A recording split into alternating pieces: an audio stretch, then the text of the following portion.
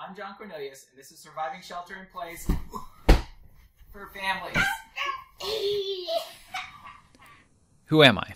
I am a medical doctor and a psychoanalyst, and I've worked in the field of mental health for the last 20 years. I spend a lot of time working with individuals and families in an intensive way. I'm an instructor at the University of California at Davis in their Department of Psychiatry, where I teach psychoanalysis. Importantly for this talk, I've been married for the last 19 years, and we have two boys age 10 and 13. And so, my contribution here is to really recognize that shelter in place is hard on families, and it has come as a shock to many of them. Not only is the coronavirus really scary, but shelter in place has really changed the family environment for most families. There's no soccer, there's no clubs, there's no friends coming over, they're not going out and doing activities all the time. And instead, there's a huge amount of time that families are spending together without the breaks that they're used to. There's no easy escape routes, and many of the avenues that we've had to deal with stress are closed right now what I really want to do in this talk is develop three concepts that should help families cope. The first one is, is dysregulation and repair is normal. The second one is to talk about good enough versus perfect parenting. And the third one is to discuss this idea of open dialogue versus managing uh, situations that occur in families. Let me start with a story, a real experience I had during my training. There were these two psychiatric hospitals in the Sacramento area, and they both got patients from the same pool of patients. So patients would be in distress, and either their insurance or they would go to an emergency room, but basically they just sort of got routed to one hospital or the other. So the populations in both these hospitals was relatively the same. Now, one thing I did, and many other doctors in training did is they work at these hospitals at night. They take call, which is when an emergency happens, they get called in and they sort of have to deal with the emergent crisis that's happening in these hospitals. Interestingly, there was a huge difference in these two hospitals. So I actually worked at this hospital, Hospital B, but I had a lot of friends and colleagues who worked at Hospital A. And at Hospital A, it was remarkable. They were getting called in two, three, four, even five times a night for emergencies. And so there would be these disruptions that would happen in the hospital. People would be upset, they would be hurting, they would be sad, but there'd be these big disruptions that would happen in the hospital. And it would result in these sort of emergency situations happening where they would call in the staff. You know, in Hospital A, they sort of dealt with it, sort of looking at it as a behavioral model, behavioral disruptions. They would sort of deal with it behaviorally, and they'd really try to get those people to sort of follow the rules and go along with the program. However, it tended to end up with an increased use of medications, increased use of you know forced medications where people would actually get shots because they did not want to take the medications but they were so disruptive and things were going so wrong that you would have to either put the person in restraints or they'd have to take a forced medication. It was really hard. It was a it was a hard place to work. Now, hospital B, rather than the doctors getting called in, you know, three times a night. When I worked for this hospital, I think I got called in three or four times in the entire year. Hugely different outcome. And again, we're talking about the same patients. And so I actually ended up working at this hospital. So I actually saw what was happening during the day too. And what I saw was that, you know what? People were still quite upset. People were in a lot of distress. They were upset. There would be, you know, shouting and all these other things was still happening here. But the difference is how it was dealt with. And, you know, to give a good example, I was at the hospital one day and I saw a patient who was extremely upset, yelling and screaming, and a very difficult situation was sort of brewing. But what this nurse did is the nurse went up to the patient and just said, Look, it really seems like you're having a difficult time. Why don't you tell me about it? And what she did is rather than pull for medications, she went and got a cup of tea. And she said, Come sit with me. Let's talk about what's going on. Let's talk about how much distress you're in. And let's try to just be helpful. I, am here. I want to listen. And it led to peace. And so there's this big difference between Hospital A and Hospital B. And I'll put forward, people were happier in this hospital. You know, in this hospital, doctors even started to become anxious about working here because they said, like, wow, there's so many bad outcomes. I'm a little worried I'm going to get sued. I'm a little not comfortable with what's happening here. I'll also put forward, it's not so different than what we see in households. I think we can all say that we'd much rather be living in house B than in house A. So let's go on and talk about family systems. I think we all know that they thrive on love. Okay, it's, this is pretty straightforward. Whatever kind of family you have, they thrive on love. But another thing that is just true is that there's dysregulation in families. It just happens. And in fact, dysregulation is normal. It is part of what just happens in families. However, by itself, if dysregulation is just sitting there and it just sort of happens and there's no way of dealing with it, the dysregulation actually grows and grows and grows. Okay, it can just overwhelm a family. Now, dysregulation can take a whole bunch of different forms. Uh, you know, basically, there's these sort of external forms, which are sort of explosive, and externally focused, where there's this repetitive pattern of outbursts and fighting and yelling and screaming and that kind of thing. However, just as prevalent are sort of quiet dysregulations where people and individuals in the family are withdrawing. Sometimes they're just sort of disappearing, even though they're present, physically present. They're sort of mentally absent. And one common form of this is addictions. One thing I'm seeing right now is a lot of news addictions where people are just sort of staring at their screens watching news for hours and hours and hours and hours, which is not really helpful for anyone. You know, it's also really important to realize that it's at this level where families and family members really do often need help to get out of a problem that's grown this large.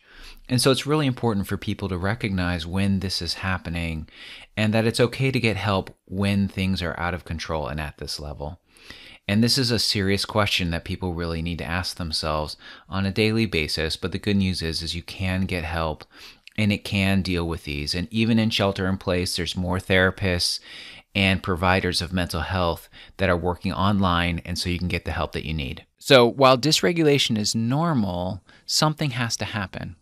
And this is called repair.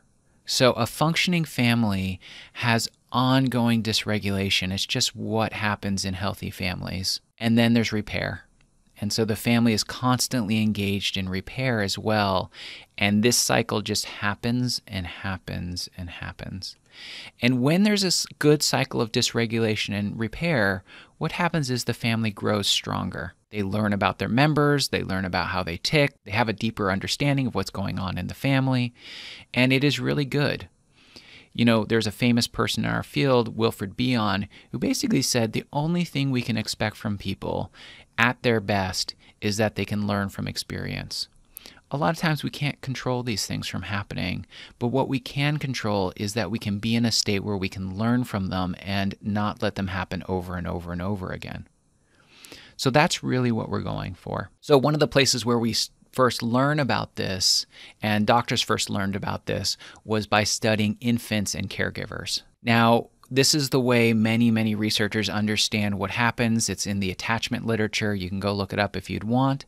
Um, but basically, we have these infants, right? And you have these caregivers, and we're sort of saying they're pretty good caregivers. And the infant gets upset. Like, let's say the infant is hungry. The infant doesn't know that they're hungry, right? They have an experience of pain. Something is going on inside of me. I don't like it. This is bad. This is signaling, you know, something uncomfortable inside of me. And then they have this experience in their mind of badness, right? Or something. And then they cry, which is a way of communicating what's going on inside of them good enough caretaker usually at first resonates with it. You'll see this with good moms and dads who sort of the first thing they do is they go up to the infant and go like, "Wow, you look upset." And they sort of have a concerned look on their face. They're really sort of resonating with what the infant is going through. And then they go through this process of basically thinking Okay, so they sort of reflect on what's going on. They'll sort of run through some scenarios. Gee, is the diaper full? Uh, did they sleep okay? Did they get their nap? You know, do they have a fever? All these things. And they're sort of thinking about it and they're sort of representing things in their minds until they finally sort of think like, oh, maybe the infant's hungry, and then they'll feed the infant, and then this feeling will go away inside of the infant. But importantly, the sensation in the mind will also go away as they sort of take care of this. Okay. And now, instead of having this distress, the infant, not only is the distress gone, is the infant also learns something. Like through this cycle, when it happens again and again, the infant learns, oh, I'm hungry. That's what that feeling is. So now I start to know that when I have this sensation, there's something that can be done. But they also start to learn, like, oh, I can go through this process and I can get my needs met. Oh, I could be safe with this in this situation. I can even learn how to think. And it's really how infants begin to understand their own minds and their own selves. It's really important. So, one example of this is the still face experiment. Dr. Edward Tronick uh, did a lot of studies regarding the still face experiment. You can see it on YouTube. You know, it's actually a pretty difficult thing to watch, but it really informs us about this connection between infants and caregivers. So, what they do is they start out with the, in this case, a mom working with her infant, and you see that they're sort of tuned in with each other. You can see them even having similar facial expressions, right? And so the mom is sort of doing all the mom things that you do with an infant, which is sort of attuned, thinking, processing, understanding, maintaining attention. And then what they do is they have the mom all of a sudden just stop responding. She has a still face. And what you see happening almost immediately is a breakdown. The infant gets very upset and in a matter of 30 seconds a minute you'll see like the infant get more and more upset. They'll even lose their posture. They just become incoherently upset. It's actually quite hard to watch. And this is only within a few minutes okay? A couple few minutes. And then the mother goes back to engaging and the infant is sort of recovers. But it sort of speaks to how important it is to have a good connection between the two so there is this really famous pediatrician, Dr. Donald Winnicott, who really wanted to underscore this relationship. And he went so far as to say, there is no such thing as an infant. He's like, don't even tell me about an infant. I don't want to know anything about an infant. What I really want to know about is infants with their caretakers, or for him, what he said in the quote is infants with maternal care. I don't even think about one of these by themselves. I only think about them together as a single unit, and that is how you understand this relationship. So, let me talk a little bit about this idea of perfect caretaking. Now, parents carry around an experience of perfect caretaking, and you know like oh we're supposed to know exactly what's going to happen. We're supposed to you know no one's ever supposed to be up, upset. If anyone's upset it means something you know horrendous happened. And that is just not right. In fact donald winnicott even went so far as to say you know if you had a perfect caretaker it would be a disaster. Because the infant sort of had this experience of badness you know like when they're hungry the infant actually needs to have that experience of, oh, I'm hungry, because it sort of starts a process where the infant can learn. So, if you had a perfect caretaker, the infant would never even have the experience of being hungry, and it would be a disaster because they would feed them before they knew that they were hungry themselves, before they had the physical experience of it. And that's actually bad. You don't want to starve an infant in a terrible way, but you actually need the infant to have the experience of hunger and go through this process with a mom so the infant can learn about how their body and mind works. So instead, Donald Winnicott came up with this idea of a good enough caretaking, or a good enough parent, or a good enough mother, or a good enough father. And what the good enough idea is, is really good enough. Okay? It's like magic, and it's really helpful to parents to know this. I depend on this a lot when I'm spending time with my kids. I've blown it. I it happens all the time, every day, multiple times a day. I've blown it, and then I can tell myself, okay, I was not perfect. Now I'm shooting for good enough. Let's see what I can do. And just like you'd expect with good enough, there's a range here, right? There's too little, so like let's say I'm paying too little attention, bad. Now, the flip side is, is if I'm paying too much attention, that's also bad. You're always looking for this sort of good enough range here. And the good enough range moves. So the good enough range is very different for infants than for toddlers, than for young children. So for uh, very young infants, right, the mother is very attentive to the idea of hunger and supplying food relatively quickly. You know, for my 10 year old now, my 10 year old shows up and says, I'm hungry.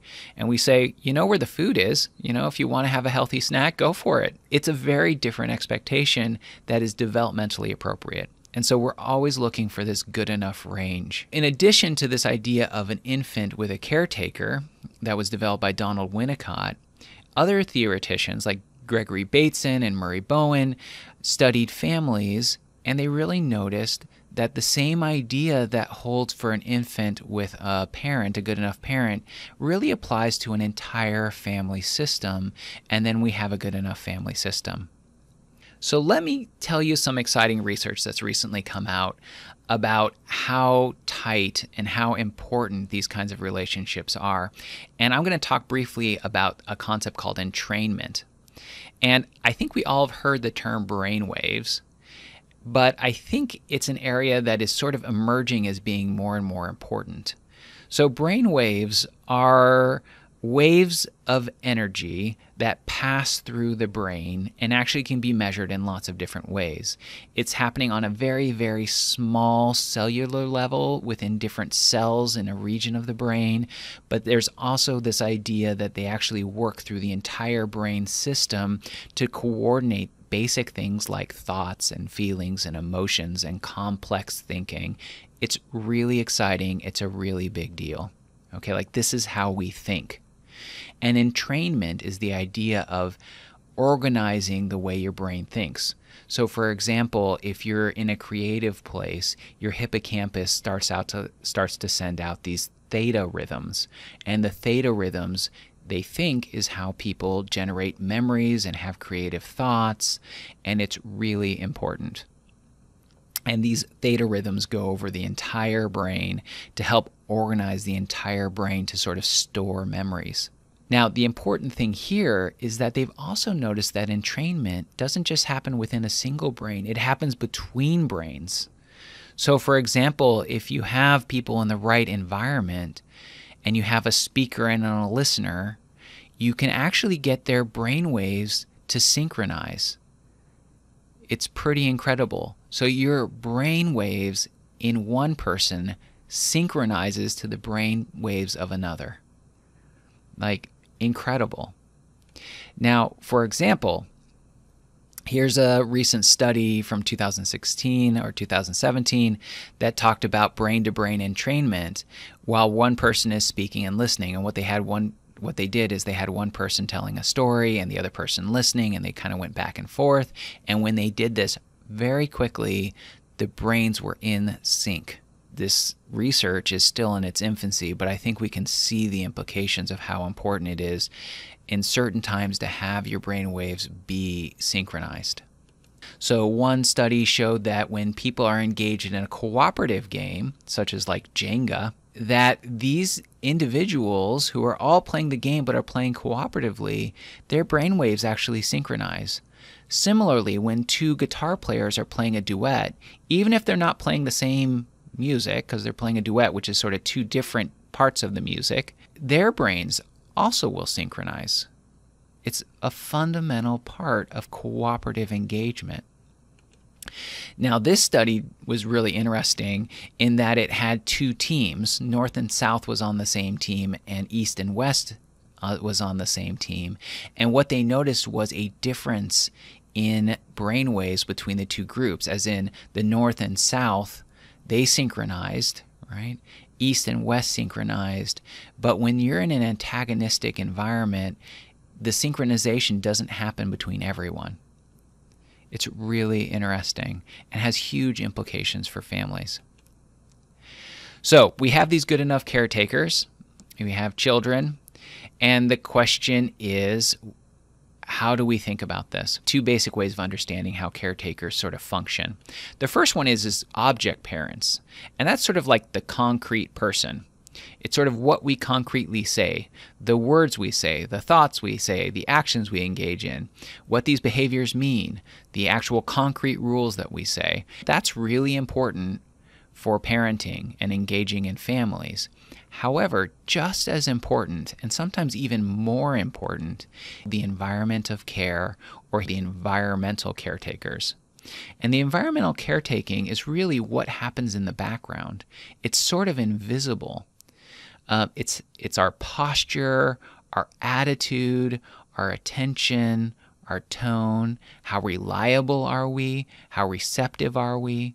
You know, if we think about having a boss, for example, and one boss is easygoing, understanding, reasonable, you know, all his workers underneath him will have a certain kind of experience of that boss.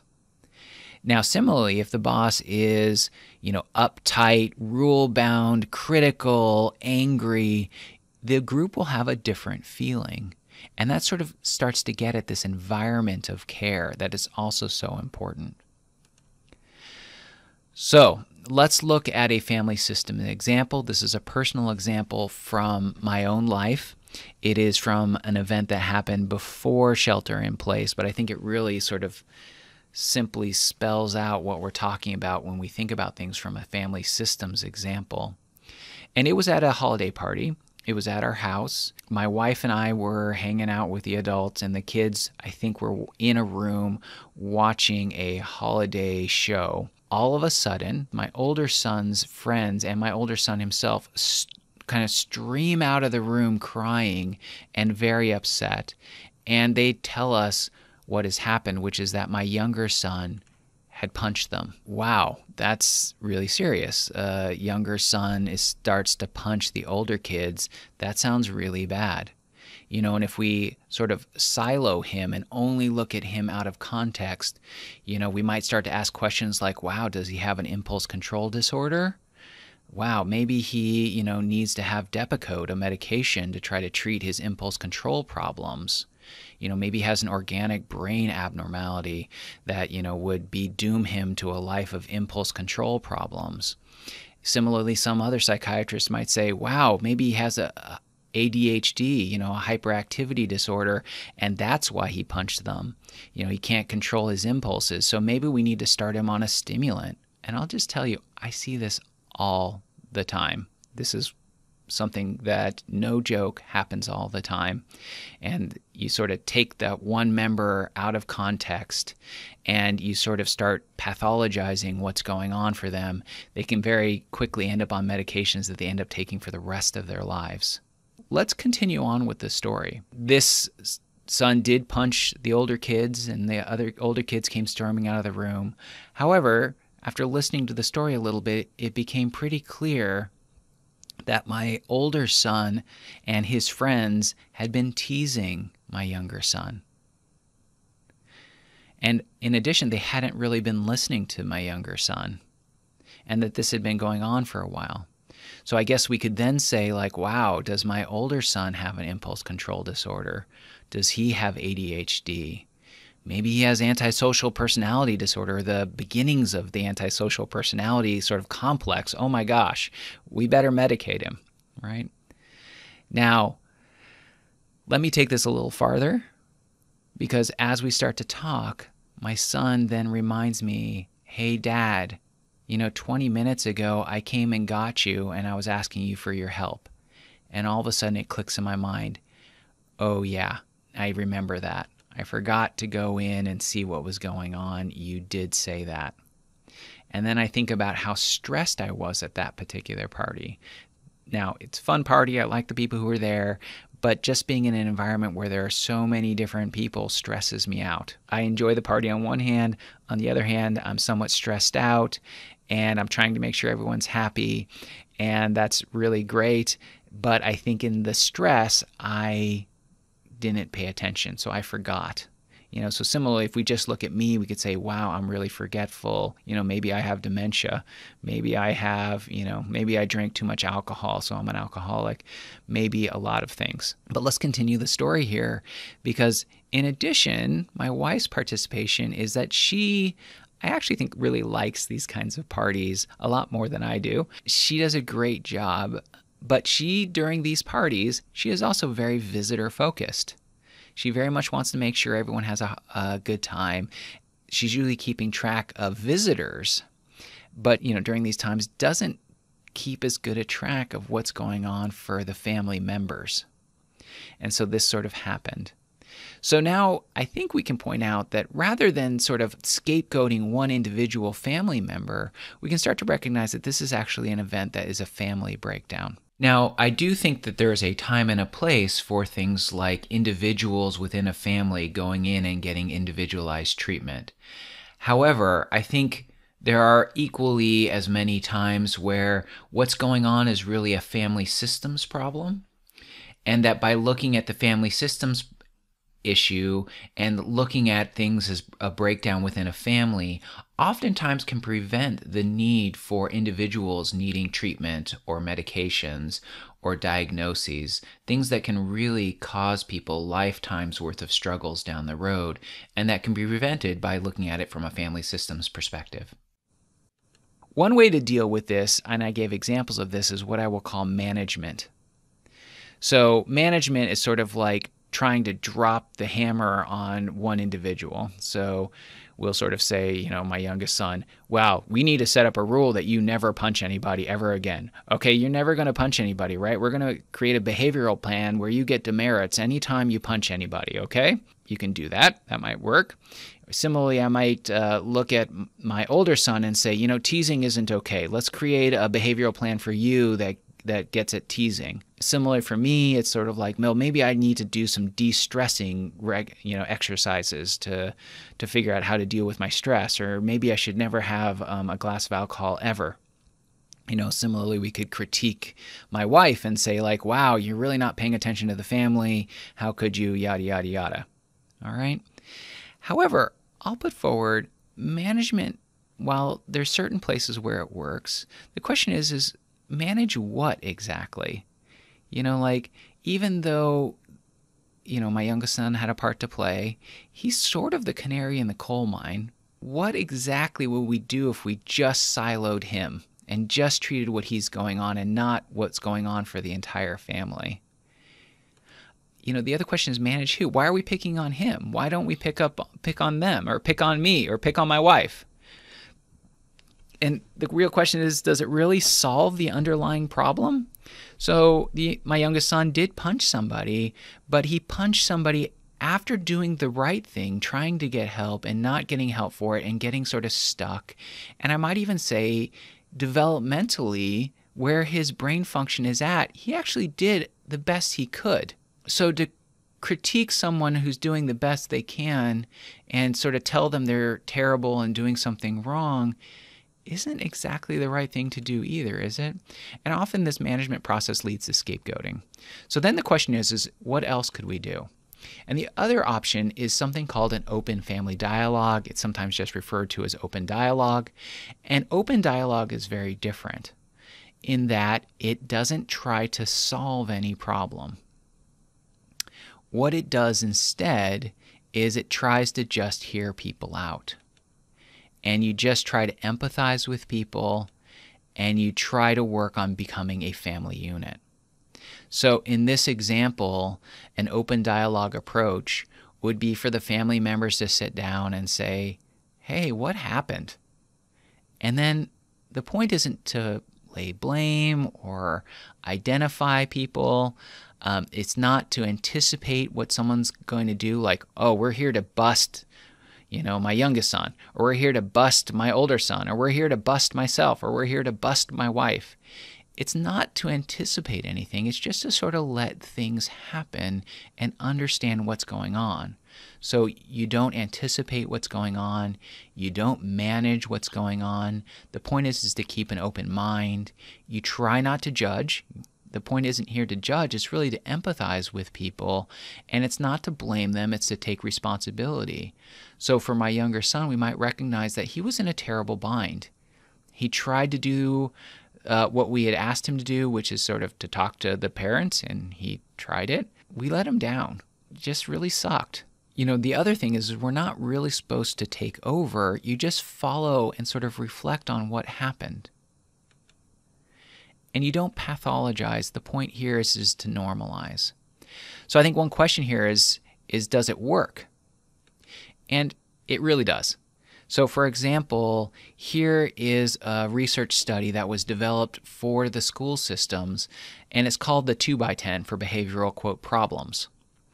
And so, what they did is they took kids who were identified as, you know, generating behavioral problems at school and rather than sort of create behavioral plans or have, you know, the teachers do something really rule bound or manage the situation, they said, look, teacher, what we want you to do is just spend two minutes a day, just two minutes a day, listening to the kid. And the kid can talk about whatever they want. They don't have to talk about the problem or what happened in the classroom that day or even why it happened or a behavior plan. Let them talk about whatever they want anything. They can talk about whatever they want as long as it's school appropriate, okay? And the point was is for the teacher to just listen, not anticipate, follow and empathize.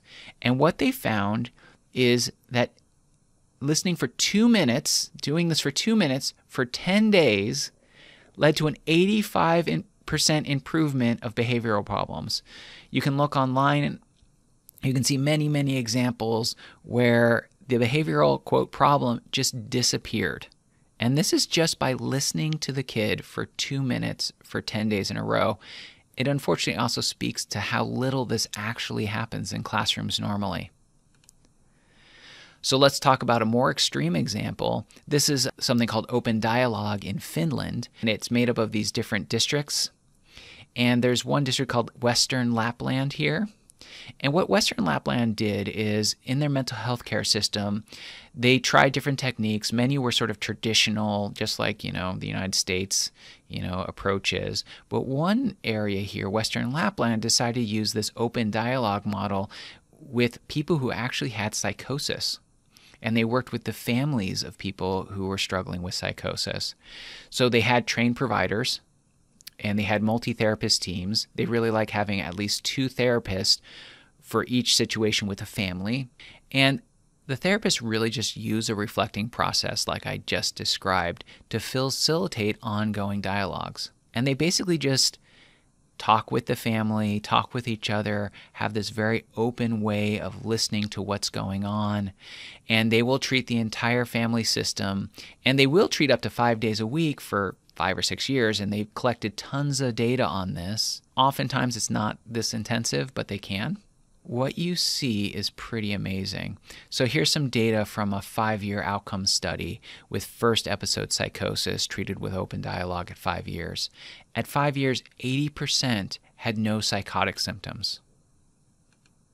85% were in school or full time work. Two thirds never took antipsychotic medication and psychiatric costs in the Western Lapland district dropped by a third during this time period. And they actually had the lowest psychiatric costs of any district in Finland. So basically, using open dialogue, to be really blunt, has a lot of evidence as curing schizophrenia. Now, if open dialogue can cure schizophrenia, think about what it can do for your family. It's pretty incredible. So let's look at this model here. So we have the good enough caretakers, so we have the object caretakers, we have this environment of care. Part of an environment of care and good enough caretakers for children, most children, is that you have some time some kind of routine. Now it doesn't have to be rigid, okay? It's not too rigid, it's not too lax, you know, it's this good enough range here. Um, I just sort of made this up. This sort of mirrors what we're trying to do with our kids. What you do is you basically have this routine and you just hang out and work your way through the routine just like everyone during the day, and these things start to happen. There's dysregulation. Now, dysregulation is hard by definition, but with this model, you just sort of expect it to happen. Okay, this is just part of life. This doesn't mean anyone failed. It doesn't mean your family's terrible. It doesn't mean you're a terrible parent. Blah, blah, blah, blah, blah. You know, no need to feel bad about it. It's just part of what is normal. Okay. And with these dysregulations, totally normal.